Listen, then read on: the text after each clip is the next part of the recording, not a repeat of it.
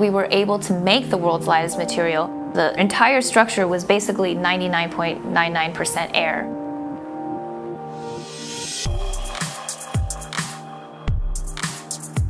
The microlattice is a 3D open cellular polymer structure and can often be compared to something like a bone structure. In your bone structures, the outside of your bone is very rigid, but on the inside, it's actually mostly hollow, where you basically have an open cellular structure, so they aren't easily crushed, yet lightweight at the same time. If you want to look at just properties in general, then one would be compression in the sense of energy absorption, and then the second would be lightweight in terms of having very hollow tubes.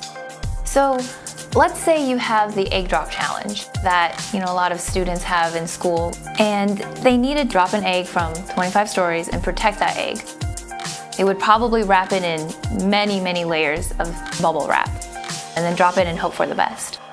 But what we can do is back design the microlattice to absorb the force that the egg feels. So instead of having an egg that's wrapped in three feet of bubble wrap, now you have a much smaller package that your egg can fit in.